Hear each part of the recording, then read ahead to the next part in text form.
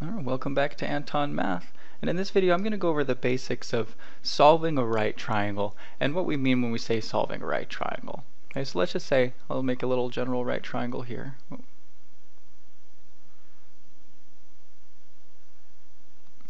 Now what solving a right triangle breaks down to is um, typically we'll be given some information about a triangle, but not all information about a triangle. And solving the right triangle just means that we're going to take the information that we have and we're going to use that to um, solve out for the rest of the triangle. Now, as long as you have at least three pieces of information about a triangle, we can use those three pieces of information and what we know, what we've learned about SOHCAHTOA to solve out the rest of the triangle. So here, one of my pieces of information here is going to be 30 degrees. The other is this angle, C of 90 degrees, and I'm going to have this side is of length 12. And that's all the information that I'm going to give for this problem. So let's say that this side is B, and this side is little a.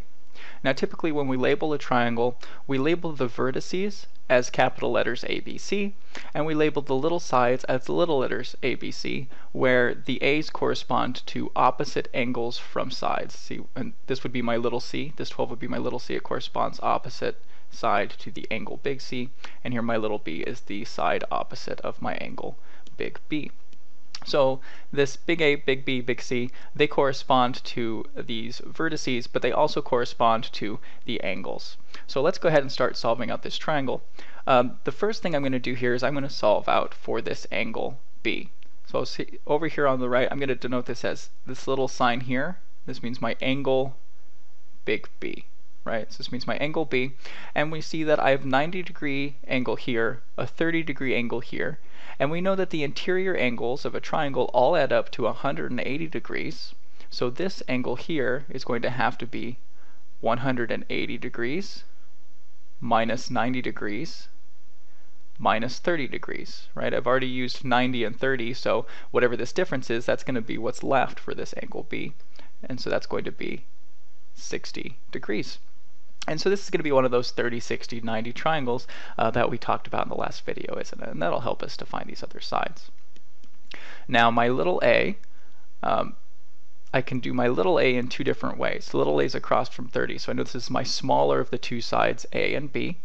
Now from the last video with 30, 60, 90 triangles, we know that if this is a, then 12 is going to be equal to 2a, right? My hypotenuse is twice the length of my little side. So my a here is going to be 6. And we also learned that the, the longer of the two short sides is going to be the short side times square root of 3. So my b here is going to be a times square root of 3 or 6 square root of 3. Now, let's just say it wasn't a 30, 60, 90 triangle. I've chosen some uh, easy triangles here for these examples, uh, so we don't need to use a calculator.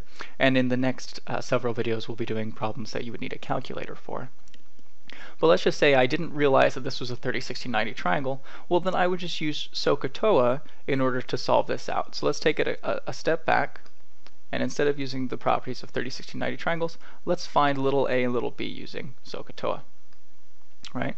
Now I have my hypotenuse, so I'm going to be looking at parts of SOHCAHTOA that I can use these angles that course that, that that use my hypotenuse so I'm not left with two unknowns right for example if I choose tangent here if I say tangent of 30 degrees is a over b well I'm not going to be able to solve either a or b because I have two unknowns um, I can't solve them at the same time so I want to set up equations using SOHCAHTOA that only has one unknown variable right so first let's look at sine of 30 degrees I know I want to use sine of 30 degrees because that's going to be my opposite, which is a, over my hypotenuse. And I know what my hypotenuse is. My hypotenuse is 12. So now I can multiply both sides by 12, and I get that a is equal to 12 sine of 30 degrees. And we know what sine of 30 degrees is, right? Sine of 30 degrees is 1 half. So this is going to be that a equals 6 right? And we knew that already because it's 3690 triangle, but this is a much more general way of using SOHCAHTOA to solve this triangle out that's going to work all the time, not only when it's a special triangle. Now that I have A, there's several ways that I can proceed to get B. There's no one way to do this. I can say, well, cosine of 30 degrees is my adjacent over hypotenuse, that's B over 12, right? So that gives me that B equals 12 cosine of 30 degrees. Cosine of 30 degrees is root 3 over 2, so this gives me root 3 over 2. And that 2 simplifies with that 12, and I get 6 root 3, like we had before. No problem. So using SOHCAHTOA to find my b. Now, I said we could do it multiple ways. Well, I could use my Pythagorean theorem, right? I know that by my Pythagorean theorem, let's say we didn't do it this way, I would have that a squared, which is 6 squared, plus b squared. Now my 6 and my b kind of look similar, so this is 6, this is b. This is going to be 12 squared, isn't it? Right, a squared plus b squared equals c squared. Well, 6 squared is 36, so I get that b squared. We have 12 squared is 144, minus my a squared, which is 36. So that's going to be uh, 108. So then my b is going to be the square root of 108. Now 108's um, divisible by 12. This is the same as the square root of, um, oh no, not 12, sorry, it's divisible by 36, isn't it? This is square root of 6 times 6 times 3. It is divisible by 12, but that's not what helps me here. So I can factor out this 6, right? I know if I have the square root of a number squared, I can pull that out of the square root and I just get 6 root 3. Right? So all ways that we could solve this triangle, and, and they all work out. Great. So let's just do another, let's do another quick example. Um, like I said, I'm doing kind of easy examples here with angles that we're very familiar with, so we don't need to plug anything into a calculator. So let's say that my three pieces of information are this triangle is that I have a 90 degree angle. I know that this side here is 4, and I know that this side here is 8. Okay, now let's say I want to, um, let's go ahead and label some of this. Um, I know what my angle C is. Now let's say I want to find my angle A, right?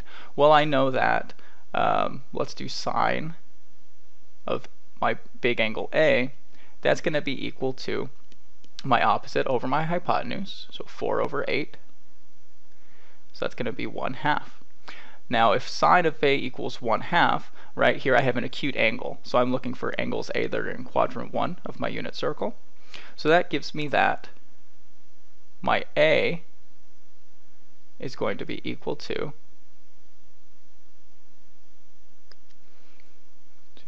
the school, um, sorry, uh, pi over 6, isn't it? Pi over 6 or 30 degrees. I know that these are the angles where sine is equal to 1 half. So this is going to be a 30 degree angle.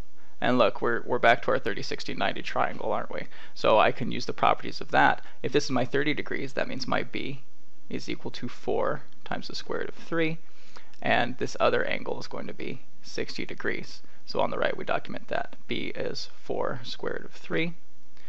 Angle A equals 30 degrees. And angle B equals 60 degrees.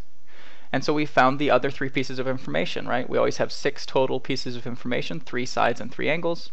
If we're given any three pieces, we can find the other three just by using SOHCAHTOA. Alright, now that's how you solve a right triangle. In the next two videos, we're going to be doing some word problems that use right triangles. Um, and these are very common test type problems, and these are the homework problems that usually give students a little bit more trouble. Uh, so I hope you tune in and I hope they're helpful. We'll see you there.